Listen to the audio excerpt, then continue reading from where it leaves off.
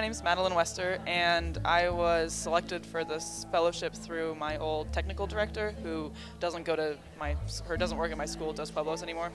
Um, and it's just been a really great experience getting to talk to the different stagehands, and they've been really talkative and telling us about how they got involved in technical theater.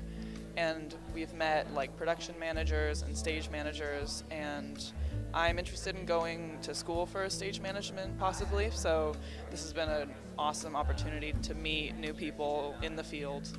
I think my favorite part was we got to watch the load in earlier, so we got to see how and during well it's an eight hour load in but we saw the first like three hours of it we got to see how they the stagehands come in with a completely bare stage and within an hour they have like trusses up and they have lights going and all sorts of things and it's pretty amazing my name's wesley I'm really interested in technical theater. I want to do that with my future, so it was really awesome to be part of the Jerkowitz Fellow today, be part of the first group to do it, come out to the Granada with them, uh, get some hands-on experience. It's really cool to be a part of. I'm Nathan, and uh, my favorite part of today was probably the load-in because I got to see kind of how the whole uh, the stage and the set. I mean, I'm going to be seeing it tonight, so that's even cooler uh, but how it all kind of came together. And I was able to kind of relate it to things that I've done before.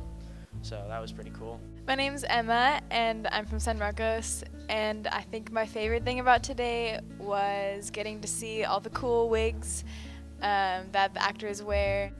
Hi, I'm Salem Curtis, and I think my favorite part of today was seeing the amazing things that the Granada has to offer and learning about all of its history. Thank you to the Granada for this opportunity. Thank you, Granada. I definitely will use this opportunity to forward my career in theater. Um, thank you so much to the Granada for hosting us and letting us watch you do your work. Thank you to the Granada for giving me an insight of what my future could possibly be like.